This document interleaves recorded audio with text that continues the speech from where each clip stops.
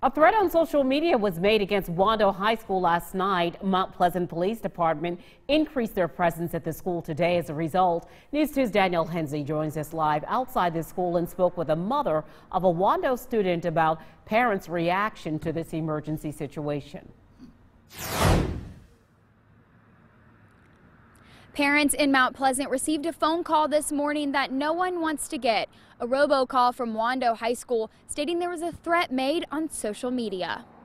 It just said that there was an in-state and out-state calls that there was a social media threat against Wando and they were working with federal enforcement and they were going to up their presence at Wando. The Mount Pleasant Police Department received in state and out of state calls last night regarding a threat made to Wando High School on social media. The case is under investigation by the Mount Pleasant Police Department and federal partners. According to the Mount Pleasant Police Department, they increased officer presence at Wando and every school in Mount Pleasant to ensure the safety of students and staff.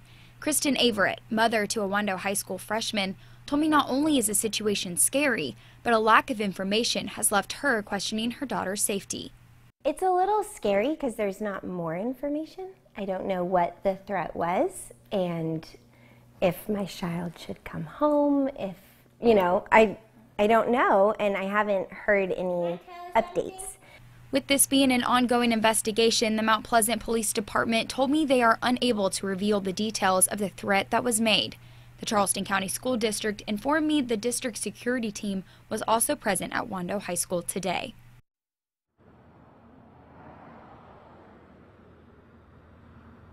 The school district also told me there are no plans as of now to change the operation of school tomorrow.